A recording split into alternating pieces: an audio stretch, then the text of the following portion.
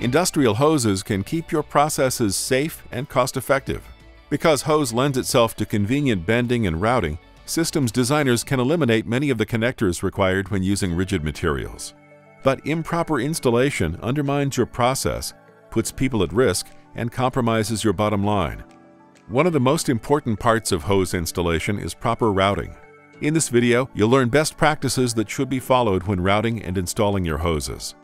The leading cause of hose failures in the field is poor hose routing practices. The most common outcome of improper routing is kinking. Kinking is what happens when a material is bent beyond its elastic limit and is permanently deformed.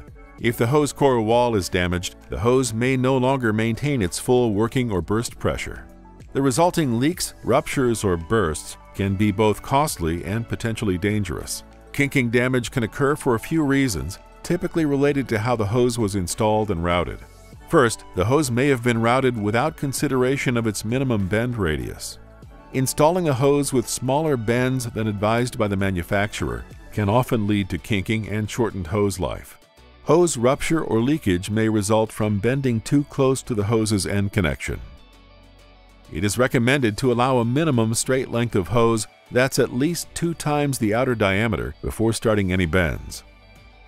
Next, excessive hose strain due to improper routing can also lead to kinking or other failure modes.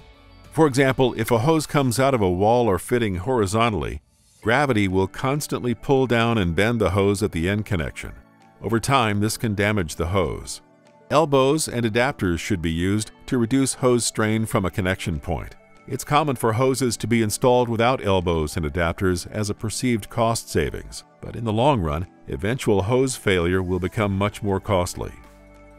In dynamic applications, excess motion can cause a hose to kink if the hose is the wrong length for the application or if it's been routed incorrectly.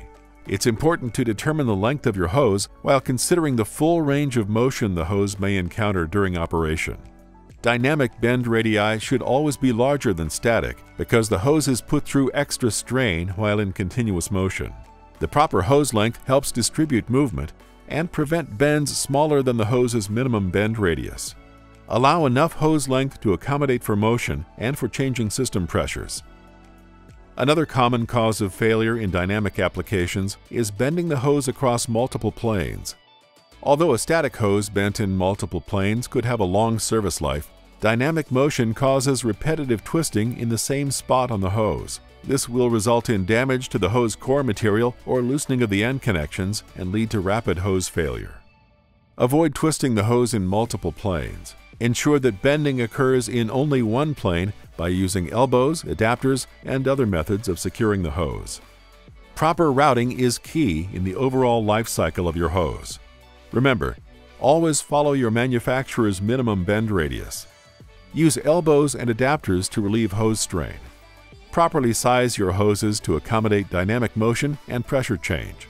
And never bend your hose across multiple planes in dynamic applications. By following these simple routing best practices, you can contribute to safer and more reliable hose operation. For more information about hose installation and routing, as well as hose advisory services, contact your local authorized Swagelok Sales and Service Center today.